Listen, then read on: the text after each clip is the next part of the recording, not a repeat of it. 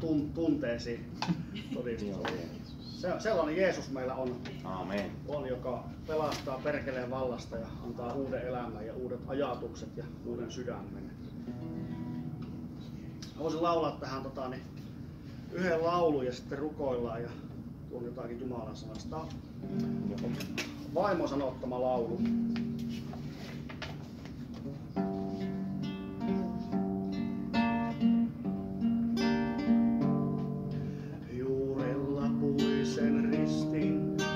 Seison käsin, likaisin tyhjiin. Niin paljon Jeesus anteeksi antoi, koko maailman synnit ristille kantoi. Ei suurempaa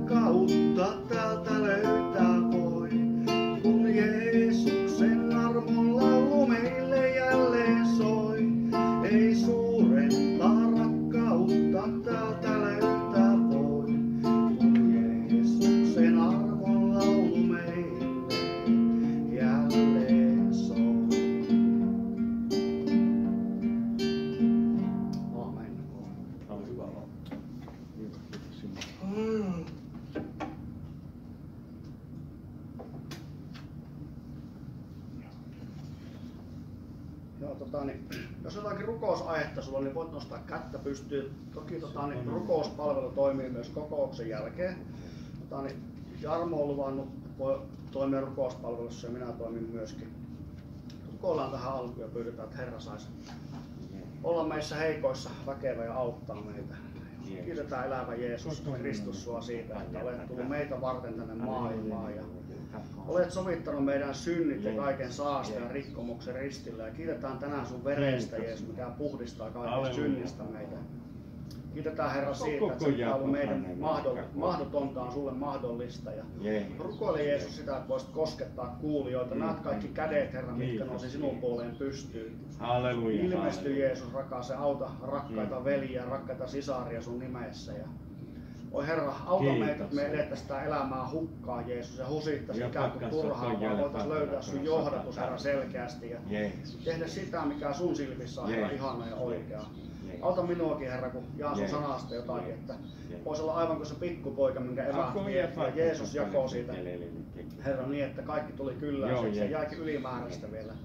Täytä meitä Herra sun totuudella, sun rakkaudella, sun pyhällä hengellä. Anna tuoretta työnäkyä Jeesus hengelliseen työhön. Ja sytyttele meitä Herra lisää tässä pimeässä ajassa. Emme olisi semmosia, mitkä Mm. Herra pysyttelee piilossa ja muuta, vaan voisimme olla semmosia, mitkä Herra on suolana ja valona Halleluja. tässä pahassa maailmanajassa. Siunaa Jyväskylän seutua, Saarijärveä, Suomea Jeesus ja autat monia ihmisiä, tulisi elävää uskoon sinuun. Halutaan Herra kantaa lähetystyö sun eteen, rukoilla läheteen voimaa ja sitä, että lähettien kautta voisi tapahtua sun ilmeisiä ihmeitä. Halutaan kantaa Herra vainot sun eteen rukoilla meidän rakkaiden veljen ja sisarien puolesta, Mm. mitkä on joutunut jättämään kotiinsa ja perheensä sen tähden, että haluaa sua seurata. Anna voimaa Jeesus heille ja auta koko tavalla eteenpäin. Aamen.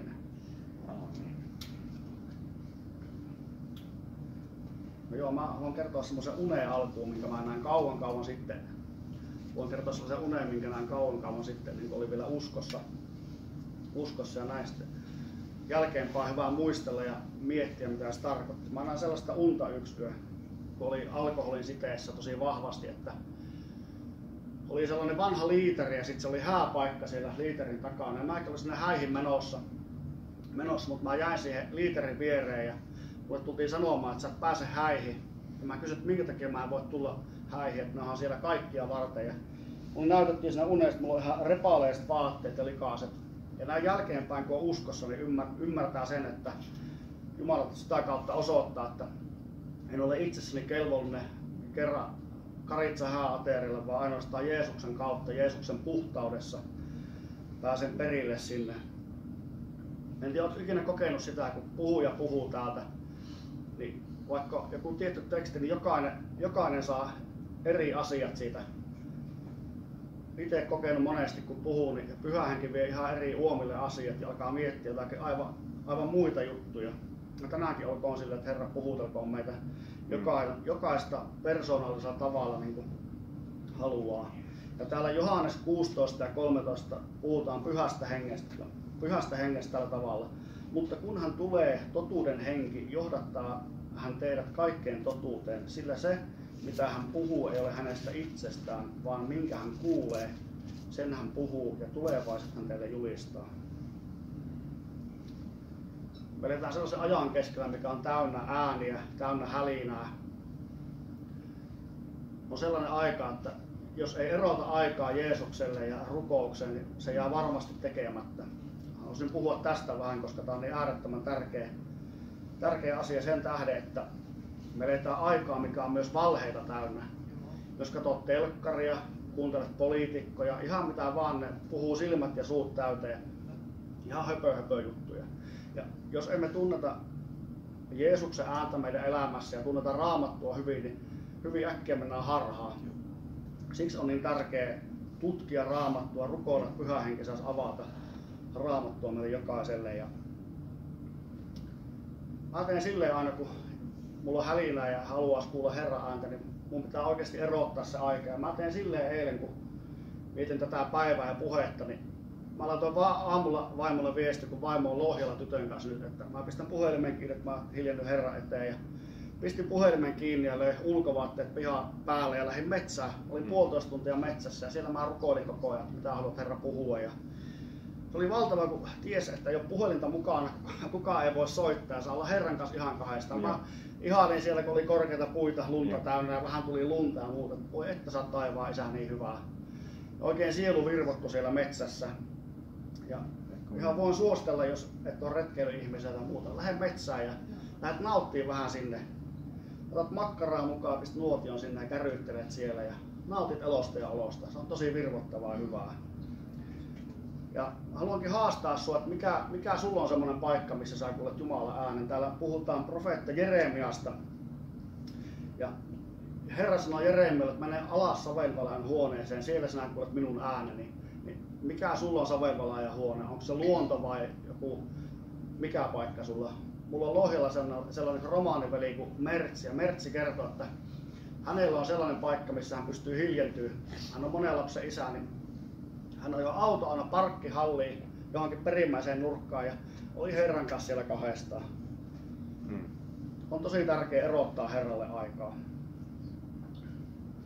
Ja itse olen huomannut sen, kun on sosiaalinen media ja kaikki, niin se tahtoo aina vaan ryöstää se ajan, kun sä kerran innostut tekemään tälleen näin, selailet vähän juttuja, niin sä huomaatkin, että tässä on mennyt pari tuntia, hmm. mikä olisi voinut käyttää paljon viisaammin. Ja täällä David puhuu psalmissa 39, 4 ja 5 Jumalalle tällä tavalla. Herra, opeta minua ajattelemaan loppuani ja mikä minun päivieni mitta on, että ymmärtäisin kuinka katoavainen minä olen. Katso, kämmänen leveydeksi sinä teit minun päiväni ja minun elämäni on sinun edessäsi niin kuin ei mitään. Vain tuulen henkäys ovat kaikki ihmiset, kuinka lujina seisootkin. Sela moni on kokenut sitä ja se, se kuuluu normaaliin uskoelämään. Meitä ahistellaan vähän ja meitä painostetaan ja välillä ei ole todellakaan hyvää olla. Ja ehkä sulla on sellainen tilanne elämässä, tuntuu, että helvetti, helvetti taputtaa ja taivas on hiljaa. Mutta kuuntele mitä Raamattu sanoo täällä. Raamattu kertoo, että me jokaisen pitää käydä ahtaan portin läpi taivasten valtakuntaa. Ja tämä on mur, murheet ja kyynenlaaksen tie, mutta tämä vie kerran ikuiseen elämään. Ja Täällä kerrotaan ensimmäinen Pietarin kirje 4 ja jakeet 12-14. Rakkaani, älkää oudoksiko, oudoksiko sitä hellettä, jossa olette ja joka on teille koetukseksi, ikään kuin teille tapahtuisi jotain outoa, vaan iloitkaa siitä myöten, kun olette osallisia Kristuksen kärsimyksistä, että te myös hänen kirkkautensa ilmestymisessä saisitte iloita riemuita, jos teitä solvataan Kristuksen nimen tähden, niin, niin te olette autuat, sillä kirkkauden ja Jumalan henki lepää teidän päällänne. On paljon semmoista kristillisyyttä, missä vaan hihkuloidaan ja heilutaan ja ylistellään. Ylistys on mahtava asia, jos se tulee sydämestä, mutta monesti kuuntelen, niin on semmoisia ylistyskokouksia, mihin vaan mennään. Ja vaikka sydän ei ylistä, niin siellä silti niin kuin ylistellään ja ollaan itse olen sanonut monesti lohtua siitä, kun joku on pikkusen parjannut ja muuta, niin muistaa, että raamatun kohdassa, kun solvaa Jeesuksen nimen tähden, niin kirkkauden henki, Jumalan henki lepää silloin meidän päällä. Olen joskus pohtinut, että mitähän munkin elämästä mahtaa tulla. Mulla on menneisyys ja pahoja asioita siellä, mutta tiedätte, että on semmoisia seinävaatteita, jos se semmoinen mikä on kudottaa, pitää se ei kudottu, vaan se on semmoinen, mikä on täynnä hapsuja, se on kaunis kuva, niin senkin jos kääntää ympäri ja katsoo, niin siitä ei saa mitään selvää. Se pysty mitenkään hahmottaa mitä siinä on, mutta kun se käännetään ympäri, paljastuu kaunis kuva. Monesti miettinyt meidän uskovien kohdalla, että meidän elämä saattaa näyttää tosi suttuselle ja surkealle, mutta kerran kun ikuisuus koittaa, se kaikki käännetään ympäri. Jumala näyttää näyttää asiat niin kuin ne on, niin meistä moni tulee hämmästymään. Ja täällä ensimmäinen Johanneksen kirja ja 3 ja 2 kerrotaan tälleen. Rakkaani, nyt me, nyt, äh, rakkaani, nyt me olemme Jumalan lapsia, eikä ole vielä käynyt ilmi, mitä meistä tulee.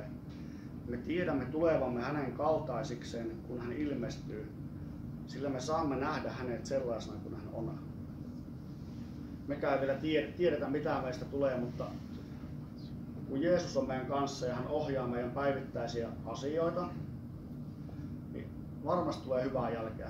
Ei koko ajan muotoile ja valaa meitä niin kuin hän, hän tahtoo. Hän on se suuri kirjuri ja piirturi, mikä piirtää meidän elämää, jos vaan tahdomme hänen kanssa mennä eteenpäin. Monestihan meille voi tulla että me ei luoteta itseemmekään, me aina möhlitään, möhlitään uudestaan ja uudestaan samoissa asioissa. Mutta se on tärkeää, että kun möhlii, niin heti kun möhlii, niin menee Herra eteen ja heti tunnustaa ja sanoo, että nyt on tullut tehtyä väärin, että puhdista verelle ja anna anteeksi. Ja mä teen usein silleen, jos tapahtuu möhli, niin mä soitan jollekin uskovalle kaverille, veljelle, että voitko rukoilla vielä, että rukoillaan yhdessä tämä asia, että se ei jää millään tavalla painamaan omaa tuntoa. Ja se tosi usein tuntuu sille, kun sitä rukoilee kun kansissa on niin pois pyyhitty. Se on viety Herra eteen yhdessä. Täällä Filippiläiskirja 1 ja 6 sanoo tällaisesti, jos on epävarma olo omasta uskoelämästä joskus, että ei kerta kaikkiaan ei pääse perille, niin saa luottaa tähän, mitä täällä luvataan. Varmasti luottaa siihen, että hän, joka on alkanut teissä hyvän työn, on sen täyttävä Kristuksen Jeesuksen päivään saakka me halutaan pysyä Jeesuksessa ja elää parannuksessa joka päivä, niin ihan varmasti Herra vie jokaisen perille. Ei ole semmoista niin, niin reppana ja surkeata, kukaan ei pääsisi, vaan Herra ottaa kuule kainaloalta kiinni ja vie eteenpäin. Ja nyt kun on ystävän päivä, niin hyvä muistaa ystäviä, että ei korona-aikaan, kun kaikki on vähän kiinni ja kukaan uskalla liikkua missään, niin hyvä soitella välillä ja kysyä, että mitä kuuluu ja tutko kahville tänne ja tehdään yhdessä ruokaa ja muuta, ettei kukaan jää yksin. Se on Jumalan mielen että pidetään toinen toisesta huolta ja ollaan apuna toisille. Mä luulen, että siksi monilla uskovilla ei tänä päivänä ole sellaista voimaa, mitä ennen aikaa ollut uskoelämässä, koska tota, niin moni lähtee testaamaan ristiä. Seurakunnissa on tarpeeksi selkeää julistusta siitä, miten, miten meidän tulee mennä uskossa eteenpäin, mitä tulee jättää pois, vaan vähän annetaan niin siimaa, siimaa, että voit elää tällä ja muuta. Ja siihen aikaan, kun ihmisiä ristiin naulittiin, niin se otti se ristin, ristiin naulittava selkää, se lähti kävelemään ristin kanssa. Ja kaikki, jotka näki se ihmisen, kuka meni ristiin naulittavaksi, tiesi, että se ei tule enää ikinä takaisin. Joo. Et silloin, silloin ei lähdetty testailemaan ristiä, että millä se tuntuu, vaan jos olit risti alla, niin se oli kuoleman paikka, niin se tulisi meillekin olla, kun ollaan Jeesuksen omia. Eli Mm. kuollaan omille asioille oikealla tavalla ja annetaan Jeesuksen vaikuttaa meissä, mitä hän tahtoo. Ja kyllä se on sille, että Jeesus tahtoo koko meidän sydämme. Jeesus ei tahdo sille, että me itse pitää 50 prosenttia ja hän saa 50 prosenttia, vaan Jeesus, Jeesus tahtoo ihan kaikki. Joo. Aina se ei ole helppoa, mutta se on kuitenkin siunattu ja mahtavin tie, kun saa luovuttaa kaikki Jeesukselle. Kaikki tulevaisuuden asiat, saa aina rukoilla, että Herra, tämmöinen oma ajatus on sisimmässä, mutta jos tämä ei ole sinusta, niin poista tämä ja johdata niin kuin sä haluat, että ei niin kuin mä haluan. Ja siellä Johannes Kastaja sanoo, että hänen tulee kasvaa, minun tulee vähetä. Se tulisi olla meillekin se tie koko ajan, että Jeesuksen annetaan lupaa kasvaa meissä ja me saat itse pienentyä Herran edessä. Mä en tiedä sun uskon tilaa tänään, oot sä uskossa ollenkaan vai mitä, mutta jos tänään Jumala kutsuu sua, niin tuu rohkeasti tuohon eteen, niin rukoillaan sun puolesta. Ja siksi sanon tälleen painokkaasti, tuu oikeasti, koska me ei ikinä voida tietää milloin meidän viimeinen päivä. Ja Raamattu kertoo sillä apostolien teossa, että Jumala on antanut määräajat ihmiselle. Siellä on asumisen rajat ja määräajat, jolloin ihminen pystyy etsimään Jumalaa. Ja sana sanoo selkeästi, että me ei voida mitään ottaa, jos ei ylhäältä anneta meille. Eli sä et voi silloin, jos sä nyt Jumala vetää sua puoleensa, niin sä, jos torjut hänet, niin et voi mennä vaikka huomenna, jos se kutsu loppuu, niin ottaa niinku kirjaa sitä pelastusta ja, tai niinku ha, vettä hanasta. Vaan silloin kun Jumala pyytää, niin on hyvä toimia. Ja sama jos Jumala pyytää tänään, että parannus jostain asiasta, niin Herra eteen vaan ja parannusta. Se on parannus on elämäksi meille. Moni vähän karsastaa sitä, kun että pitää tehdä parannus, mutta se on raamatun mukaan elämäksi meille. Ja Jumala puhuu myös eilen, eilen sillä tavalla, kun kävin sillä lenkillä, tulin kotiin pihaan, niin Herra sanoi, että hän haluaisi uudistaa jonkun uskoelämän tänään. Jos olet juuri sinä, joka kuulet, tuu rohkeasti eteen, niin rukoillaan sitä, että Herra saisi Jep, uudistaa ja poistaa kaikki ne tukokset, mitä on uskoelämässä. Ja siellä muistaa vanhan testamentin aikaan, kun oli filistaalaisia, ne heitteli niihin vesi, ö, vesikaivoihin kiviä ja kaikkea mutaa, että meni tukkoon, niin Herra haluaa tänään sunkin elämästä poistaa ne kaikki esteet, tukokset, pyhä hengen virta pääsee virtailemaan oikealla tavalla. Ehkä sä et ole ikinä täyttynyt pyhällä hengellä, mutta haluaisit täyttyä. Ja me tiedetään se sanasta, että aina kun on semmoinen ihminen, joka janoaa Herran puoleen haluaa, niin Herra varmasti antaa. Minä eikä Jarmo eikä kukaan meistä voi täyttää, mutta Jeesus voi täyttää pyhällä hengellä. Ja mä laulan yhden toisen oman laulun tähän loppuun ja aloitetaan sitten rukouspalvelu.